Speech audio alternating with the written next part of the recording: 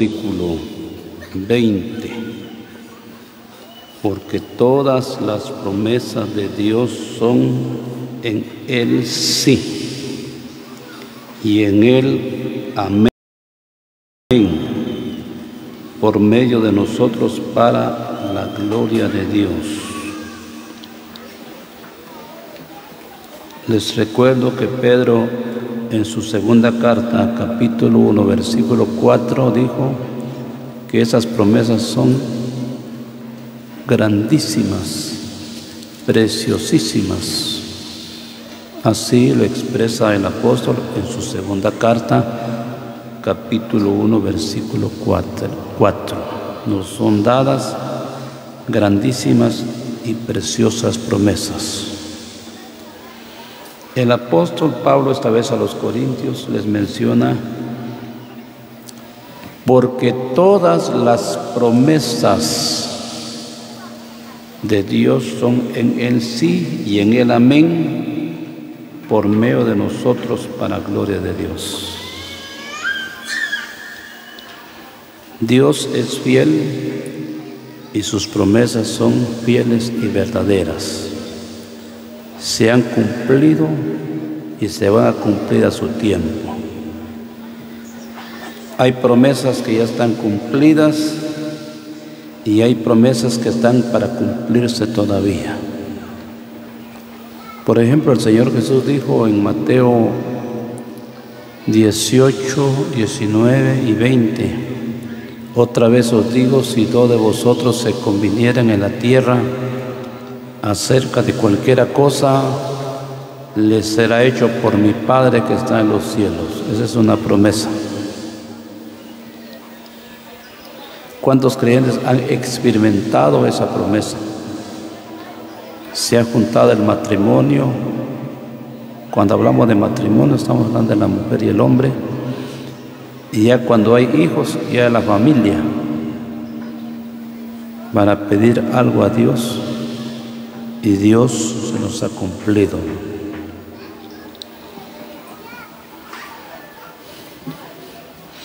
Y ya en el 20 dice, porque donde están dos o tres congregados en mi nombre, ahí estoy yo en medio de ellos. Esa es otra promesa. Esa promesa se hace real, pero tiene sus requisitos, porque no vamos a pensar que, que en cualquier congregación el Señor se va presentar y se va a poner en medio de la congregación. No. Tiene sus requisitos. ¿Qué requisitos? Uno está en Juan 14, 21. El que tiene mis mandamientos y los guarda, ese es el que me ama. Y el que me ama será amado por mi Padre y yo le amaré y me manifestaré a él. Solo oiga la expresión, la palabra del Señor. El que tiene mis mandamientos y los guarda, eh, ese es el que me ama. Y el que me ama será amado por mi Padre y yo le amaré y me manifestaré a él. ¿Qué hay que hacer? Guardar sus mandamientos. No está malo para recordar el Salmo 119, 63. Compañero soy yo de todos los que te temen y guardan tus mandamientos. Mateo 28, 19 y 20, los últimos versículos, enseñándoles que guarden todas las cosas que os he mandado, y aquí estoy con vosotros todos los días hasta el fin del mundo. Amén. Promesas que se hacen realidad siempre y cuando que nosotros cumplamos con ciertos requisitos que están registrados en la Biblia. Todas las promesas. Capítulo 7, miremos una promesa en el capítulo 7 de los Hechos. Hechos, los Hechos, capítulo 7. Su versículo especialmente de esta palabra es el 17. Pero cuando se acercaba el tiempo de la promesa que Dios había jurado a Abraham, el cual el pueblo se multiplicó y creció en Egipto. Pero cuando se acercaba el tiempo de la promesa que Dios había jurado a Abraham, el pueblo se multiplicó en Egipto, creció y se multiplicó en Egipto. Las promesas de Dios siempre lleva juramento. Por eso el apóstol dijo en el capítulo 4, parece del Hebreos, para que por dos cosas inmutables en las cuales es imposible que Dios mienta, Dios no puede mentir. Y las dos cosas son promesas y juramentos, son las dos cosas. Cuando Dios promete y jura, no hay fallo.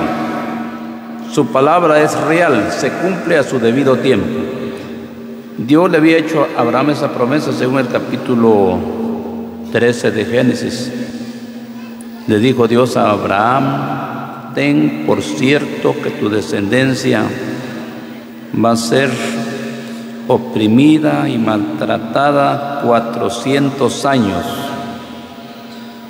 A los cuatrocientos años yo los voy a sacar de Egipto. Es una promesa. Pasó 100 años, 200 años, 300 y pasaron los 400 años, la promesa de Dios se cumplió, porque Dios sacó al pueblo de Israel de Egipto.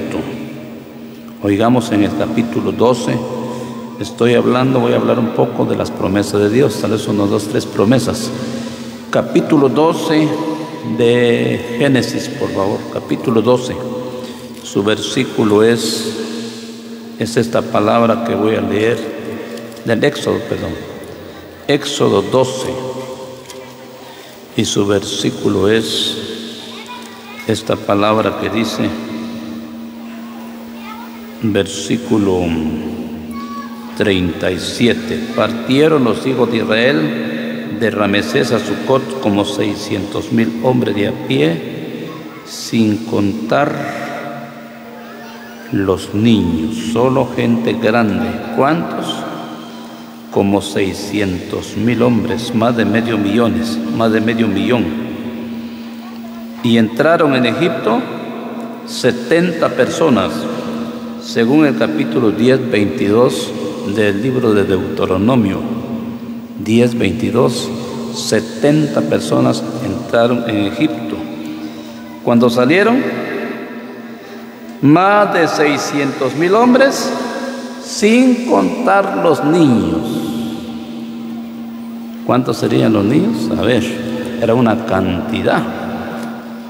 Ya eran más de un millón. No los contaron los niños. Dice que a medianoche salieron de Egipto, según el versículo 40. El tiempo que los hijos de Israel habitaron en Egipto fue 430 años.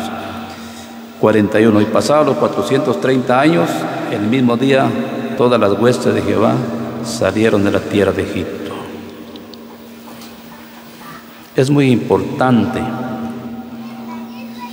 conocer, saber de las promesas de Dios. Una de sus promesas estamos mirando que Dios le hizo a Abraham.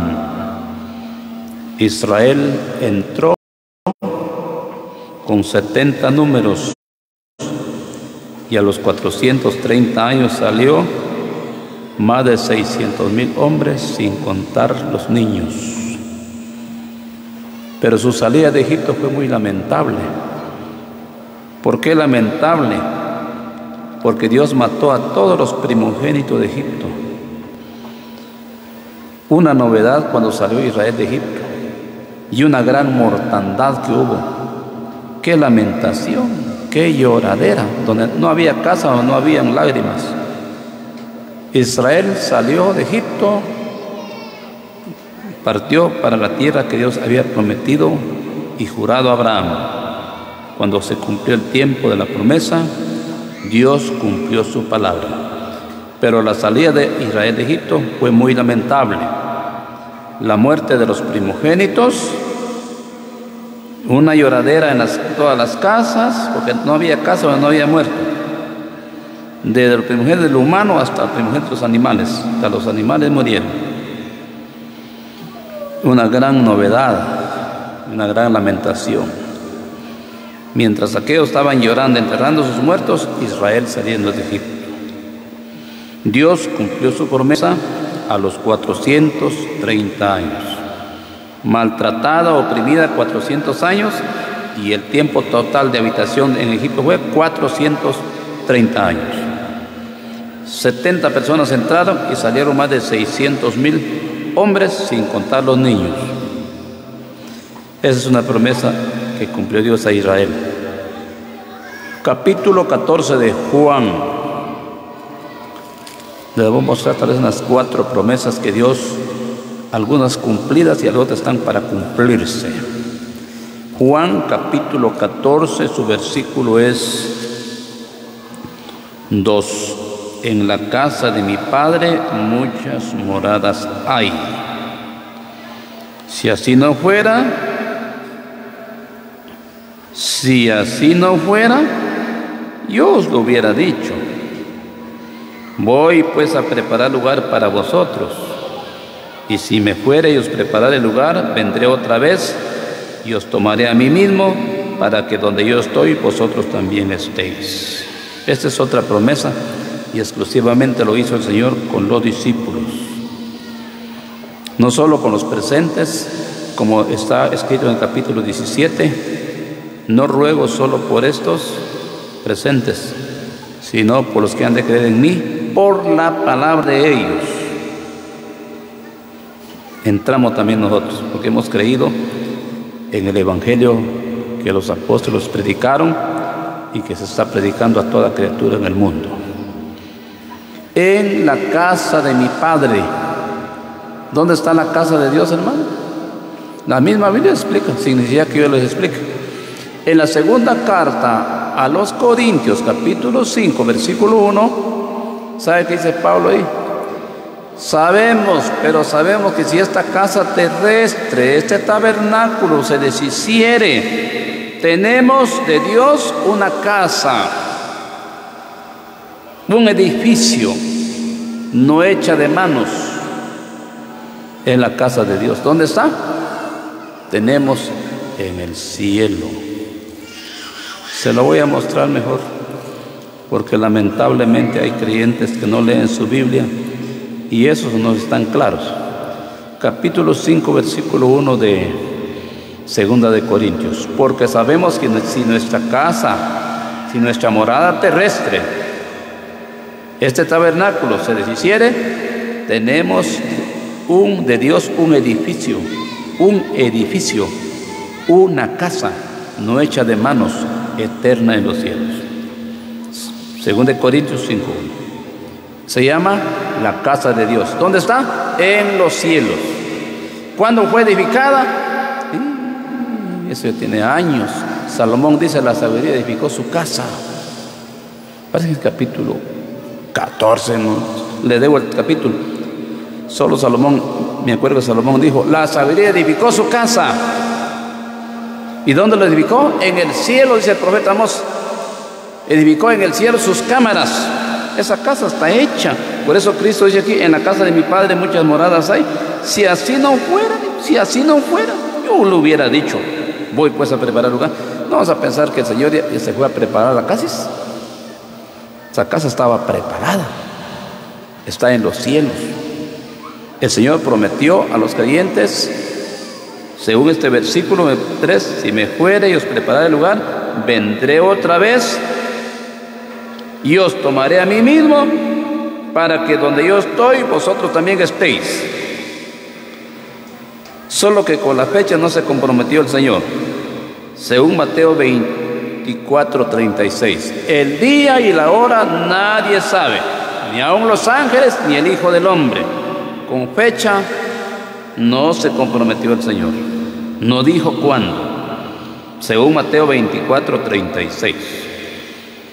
Y el Espíritu Santo lo ratifica en el capítulo 4, 16, 17 de la primera Tesalonicenses, que dice ahí, porque el mismo Señor, con voz de mando, con voz de arcángel con trompeta de Dios, descenderá del cielo y los muertos en Cristo resucitarán primero. Y luego los que vivimos seremos arrebatados juntamente con Él en las nubes para recibir al Señor en el aire. Primera Tesalonicenses 4, 16 y 17. El Espíritu Santo lo confirma a los tesalonicenses y a los corintios en el 1551 en un abrir y cerrar de ojos. Eso es lo que va a tardar. La salida de la iglesia de la tierra será en un abrir y cerrar de ojos. El día y la hora nadie sabe. 24, 36 de Mateo. Pero sí va a salir, porque el Espíritu Santo dice en el 10, 37 de Hebreos, porque un poquito y el que ha de venir vendrá y no tardará. No tardará. Va a ser muy lamentable esa salida de la iglesia sobre la tierra. ¿Por qué lamentable? Ah, porque muchos van a decir, Señor, delante de ti comimos, bebimos, en nuestras plazas enseñaste. Van a decir los oyentes que no se convirtieron, porque quienes son oyentes pero no se han convertido. Y solo Dios sabe si se van a convertir, porque ya se les endureció, les endureció su corazón, lo tuvieron muy cerca, endurecieron su corazón y hay quienes lo lamentan Hace unos años el Señor me llamó a mí, yo sentí el llamamiento de Dios en el Evangelio, sentí el deseo de aceptar a Cristo, pero no lo hice. Qué lamentable. Es lamentable, porque una vez y otra vez, solo la misericordia si va a haber otra tercera, otra cuarta oportunidad. Por eso cuando se oye la voz de Dios, no hay que endurecer el corazón, porque hace mal el pecador cuando endurece su corazón. El Señor viene de un momento a otro, en un abrir y cerrar de ojos. 15.51 de 1 Corintios. ¿Va a ser lamentable? Va a ser lamentable. Ya le mencioné, los oyentes van a lamentar. Delante de ti comimos, bebimos, nuestras plazas enseñanzas. Y los que no son verdaderos creyentes lo van a lamentar. Señor, delante de ti, eh, como dice, profetizamos en tu nombre, hicimos milagros, echamos fuera demonios, los creyentes, pero no eran verdaderos creyentes. Qué lamentable para esos que no son verdaderos creyentes, porque los, que no son verdaderos se van a quedar, porque no tienen el Espíritu Santo. Pero los que tenemos el Espíritu Santo, ni uno de los que tenemos el Espíritu Santo se va a quedar, porque es la garantía, así se, son las arras de nuestra herencia. Entonces estamos esperando el cumplimiento de la promesa del Señor, que Él viene es una promesa y se va a cumplir, no se ha cumplido todavía. No se sabe cuántos años la iglesia va a estar sobre la tierra. Israel 430 años. Entró con 70 y salió con más de 600 mil sin contar los niños. La iglesia comenzó con 120, 120 números comenzó la iglesia. ¿Cuánto será el número de la iglesia? ¿Quién sabe? ¿Quién lo sabe? Nadie lo sabe. Solo Dios. Somos millones de creyentes en el mundo, hermano. Somos millones pero comenzó con 120. ¿Cuántos van a salir? No le puedo decir cuántos, van a ser millones que van a salir. Biblia no lo menciona, solo dice que están muertos, serán resucitados, los vivos transformados, no da número ahí. Aparte los 144 mil que van a salir de Israel. 12 por 12, 144 mil. Nada que ver con la iglesia. La iglesia se compone de toda tribu, de toda raza, según el capítulo 5 de Apocalipsis. Es una promesa que se va a cumplir. De un momento a otro va a ser lamentable para muchas personas, para los oyentes y para los que no son verdaderos creyentes, lamentable para ellos. Va a haber lágrimas, lamentación y lágrimas. Correrán de un lugar para otro, sentirán hambre de oír la palabra y van a correr errante de mar a mar, no lo van a hallar. Los jóvenes, las doncellas hermosas, se van a desmayar de sed no van a hallar la palabra, se van a desmayar, se van a caer desmayados, porque en ningún continente se va a predicar el Evangelio. Se va a cumplir esta promesa. Otra promesa, 5.24 de Juan. Tal vez unas cuatro Juan capítulo 5, versículo 24. Posiblemente ya lo tenga usted en su memoria, los que leen la Biblia, pero los que no, lo ignoran. 5.24 del Evangelio según Juan, porque quienes no saben leer, no saben leer. Y hay quienes saben leer, pero no leen. 5.24. De cierto, de cierto digo, el que oye mi palabra, ya lo oyó, ¿verdad? Hay quienes ya son oyentes por varios años, por varios tiempos han oído el Evangelio, solo que han endurecido su corazón. Les recuerdo lo que dijo Pablo a los Romanos capítulo 2, 5. Pero por tu dureza y por tu corazón no arrepentido, atesoras para ti mismo ira, para el día de la ira y de la revelación del justo juicio de Dios. Está haciendo mal por endurecer su corazón. De cierto, de cierto digo, el que oye mi palabra y cree al que me envió, tiene vida eterna. Positivo. Y no vendrá a condenación, mas ha pasado de muerte a vida. Aquí se basó el escritor de aquel himno que dice, vida eterna él prometió, él prometió al que en él, al que en él quiera creer. Aquí se basó ese, ese himnólogo que escribió ese himno. De cierto, de cierto digo, eso es promesa. El que oye mi palabra y cree al que me envió, tiene vida eterna. Por eso Juan en su capítulo 5, versículo 13 de su primera carta dice, como dice ahí, estas cosas os he escrito a vosotros que creéis en el nombre del Hijo de Dios, para que sepáis que tenéis vida eterna. Lo escribió Juan en su primera carta 5, 13. Estas cosas escritas a vosotros que creéis en el nombre del Hijo de Dios, para que sepáis que tenéis vida eterna. Téngalo en su mente, en su corazón los textos, porque le van a servir algún día. Promesa. Tiene vida eterna y no vendrá condenación, mas ha pasado de muerte a vida eterna, a vida. El Señor dijo cuando dio la orden de predicar el Evangelio. Ir por todo el mundo y predicar el Evangelio a toda criatura. Hay muchas clases de criaturas, ¿verdad? Entre las criaturas hay ricos, hay millonarios, multimillonarios, hay pobres, hay nobles, hay plebeyos. Según el Salmo 49.1. A toda criatura. Si no lo quiere oír, ese es su problema. Ese es muy problema personal, pero está ordenado a toda criatura. El que creyere y fuera bautizado será salvo, mas el que no creyere será condenado.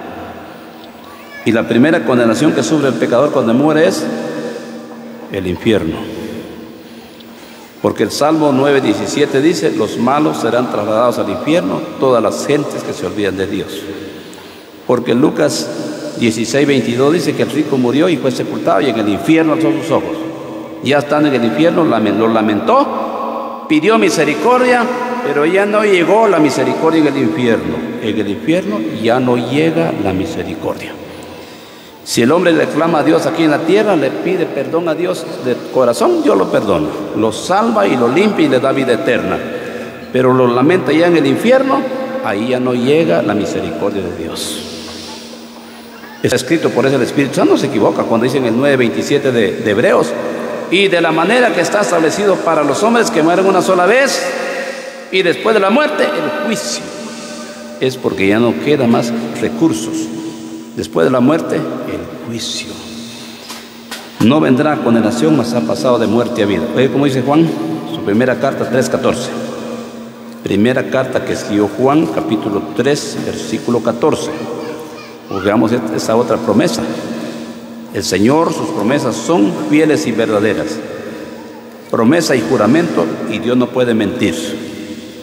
Capítulo 3, 14 de la primera carta de Juan. ¿Cómo lo explicó Juan? Dice el 3.14. Nosotros sabemos que hemos pasado de muerte a vida. ¿Dónde se basó? en el capítulo 5, versículo 24, que él escribió las palabras del Señor. Pero nosotros sabemos que hemos pasado de muerte a vida. También nosotros los creyentes debemos saber que hemos pasado de muerte a vida. Pablo le dice a los Romanos capítulo 8, versículo 1. Ahora pues ninguna condenación hay para los que están en Cristo Jesús. Ni condenación del infierno, ni lago de fuego, muerte segunda. Porque está hablando Juan, hemos pasado de muerte a vida, pero no de muerte física. porque de la muerte física no estamos libres. Oiga bien, tome nota, no está hablando de la muerte física, está hablando de la condenación. Apocalipsis capítulo 20, versículo 15. 20, 15 dice, y el que no se halló escrito en el libro de la vida fue lanzado al lago de fuego. Mientras que el versículo 14 dice, y la muerte y el Hades fueron lanzados al lago de fuego. Esta es la muerte segunda. De esta muestra hablando Juan. Qué lástima de los que no están escritos en el libro de la vida, ¿verdad? Qué lástima cuando una persona nace y no lo, no lo registran. En el registro civil, hace años se llamaba registro civil, ahora se llama RENAP, el nuevo nombre actualizado, RENAP. El que no está registrado no puede comprar ni vender porque no tiene documento. Pero todos están registrados. Será raro la persona que no lo registraron. Si no lo registraron sus padres, otras personas lo van a haber registrado. En el libro de la vida solo están registrados los que un día se arrepintieron de sus pecados, aceptaron a Cristo, fueron limpios con su sangre, su nombre fue escrito en el libro de la vida. Para ellos ya no hay condenación. Han pasado de muerte a vida. Lo dijo Cristo, lo ratificó Juan y lo dice aquí Juan en el Apocalipsis, que el que no se haya registrado su nombre en el libro de la vida será lanzado al lago de fuego. Y el verso 14 dice que es la muerte segunda. El verso 10 dice que serán atormentados día y noche por los siglos de los siglos. Le estoy citando los textos como base, porque solo mis palabras no pueden valer. Aquí están las bases, le estoy mencionando. Esa es una promesa del Señor de la vida eterna y de salvar de la condenación al pecador. Y la otra, ¿cuál es? Son cuatro promesas que le voy a hablar. Capítulo 16 de, la, de los Hechos 16, versículos 30 y 31.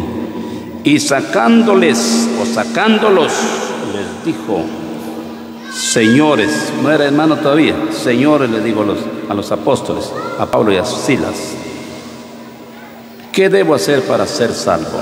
Una pregunta tan importante, ¿verdad? ¿Qué debo hacer para ser salvo? ¿Y qué se debe hacer? Algunos dicen, ah, para ser salvo no es nada más. Eso es de la noche a la mañana. Hay que hacer algo, hay que hacer buenas obras, hay que ofrendar, hay que diezmar, hay que orar, hay que perseverar para ser salvo. Y le ponen un montón de peros. Pero el apóstol Pablo le respondió al carcelero, cree en el Señor Jesucristo y será salvo. Esa es promesa. Al creer en el Señor Jesús, lo dijo él, 5.24.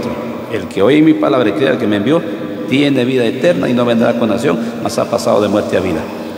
Cree en el Señor Jesucristo y será salvo tú y tu casa. Le hablaron la palabra a él y a toda su familia, sus hijos, sus hijas, sin duda nueras, hierros que componen la casa, la familia y se convirtieron al Señor, aceptaron a Cristo, fueron bautizados. Más de medianoche lo estaban celebrando, según el versículo 34, llevándolos a su casa, les puso a la mesa y se regocijó con toda su casa de haber creído a Dios. Más de medianoche están celebrando la conversión de la familia, de la familia, no solo del matrimonio, de la familia porque el matrimonio es papá y mamá. De la familia son los hijos y las hijas. Convertidos, aceptaron a Cristo por la fe en su corazón, bautizados. No que estuvieron pensando tanto como hicimos nosotros. Y repensar, repensar para renunciar al mundo, para dejar los amigos, las amigas, los novios, las novias, tantas cosas que vienen en la tierra, que hay en la tierra tronando y lloviendo, como dice el dicho, convirtiéndose y bautizándose. Y lo celebraron esa misma noche, la conversión de él y su casa. Oye, la promesa, serás salvo tú y tu casa. Si usted no, se han, no se han convertido sus hijos, hermano, usted dígale a Dios, Señor, tu palabra dice en Hechos 16, 31, serás salvo tú y tu casa. ¿Por qué mis hijos no se han convertido, Señor? Tal vez yo he sido un mal ejemplo. Hay padres malos, malos ejemplos, ¿verdad? Eso no, es, no es de negarlo. Hay padres que han sido malos ejemplos, madres que han sido malos ejemplos. Tal vez yo tengo la culpa, Señor, que mis hijos no se han convertido. Hay que no oran ni por sí mismos, ni por sus hijos. Yo siempre me acuerdo las palabras que dijo el Señor a las mujeres que iban tras de él. Hija de Jerusalén, no lloréis por mí, llorad por vosotras mismas y por vuestros hijos. Dice que hay que orar por uno mismo. Y orar y orar, orar y orar por los hijos para que se convierten al Señor. Gracias a Dios por los hermanos, las hermanas que han visto a sus hijos convertidos y en comunión. ¿verdad? Hay quienes no tuvieron esa dicha. Se murieron, no vieron hijos en comunión. Posiblemente se convirtieron ya después. Pero la promesa es, serás salvo tú y tu casa. Esa es promesa. Y gracias a Dios por han casado. Último texto. Hebreos capítulo 11, 33. Oigamos el 11.33 de Hebreos. Que por fe conquistaron reinos. Hicieron justicia como Abraham, que le creyó a Dios, que su, que su descendencia iba a ser como las estrellas del cielo, 15, 6 de Génesis, ¿verdad? Serán como las estrellas del cielo y la mujer era estéril de 90 años y Abraham de 100 años y Dios le prometió todavía un hijo de esa edad, de 90 y de 100. Era imposible, hermano, increíble a la vez. Pero Abraham le creyó a Dios, 15, 6, le fue contada por justicia, alcanzó promesa. Por la fe conquistaron reinos, hicieron justicia, alcanzaron promesas. Gracias a Dios por lo que hemos alcanzado esa promesa de ver la conversión de nuestros hijos y aún de verlos ya en comunión. Por lo menos ya convertidos. ¿Se goza usted o no se goza? Hay quienes lloran, hermano. Lloran. Dice, oh, gracias por la conversión de mis hijos, de mis hijas, Señor. De mis nueras, Señor. De mis yernos, Señor. De mis nietos, Señor. De estos tatanietos. Ay, tatanietos. Hay quienes han visto ya hasta la cuarta generación convertidos. Nosotros solo hemos visto nomás los nietos. No hemos visto bisnietos todavía, que no lo tenemos todavía. Pero si Dios quiere, lo vamos a tener.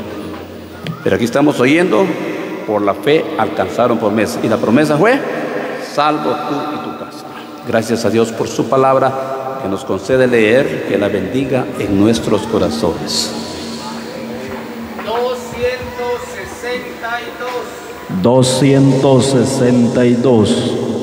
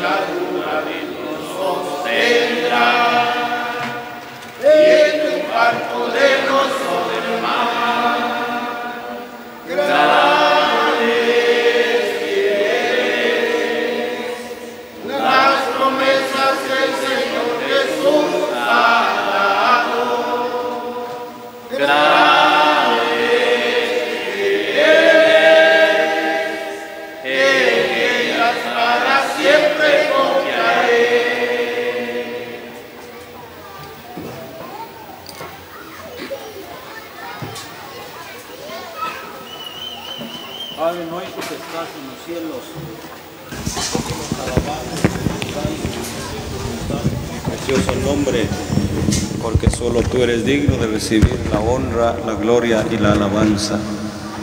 Gracias te damos, Padre Celestial, por nuestro Señor Jesucristo, porque en Él nos has bendecido con bendiciones espirituales y también con bendiciones materiales.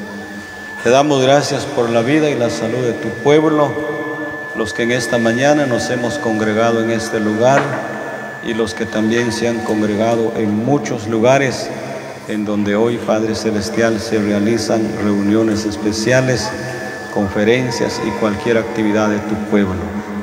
Te damos gracias porque has cumplido el deseo o estás cumpliendo el deseo del corazón de esta familia, mayormente de nuestro hermano allá en los Estados Unidos, a quien un día tú lo alcanzaste en tu misericordia, nuestro Padre.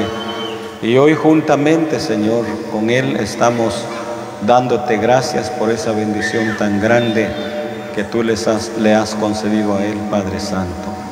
Gracias por tus palabras con las cuales nos has hablado las palabras tuyas que nos vivifican, Padre, que nos edifican y que nos muestran el camino por donde nosotros debemos caminar y nos enseñan también cómo debemos portarnos delante de tu santa y divina presencia. Bendícenos todavía lo que falta de este día, la reunión por la tarde, también la predicación del Evangelio por la noche, pero también nos acordamos de nuestros hermanos que están pasando por tristeza, por dolor, por enfermedades, como nuestro hermano Morabel y su familia, nuestro Padre.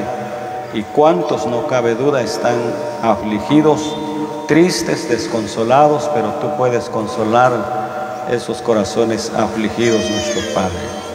De nuestros corazones acepta las alabanzas que te hemos cantado, Padre Celestial, la adoración que te rendimos tan solamente en el nombre de nuestro Señor y Salvador Jesucristo. Amén.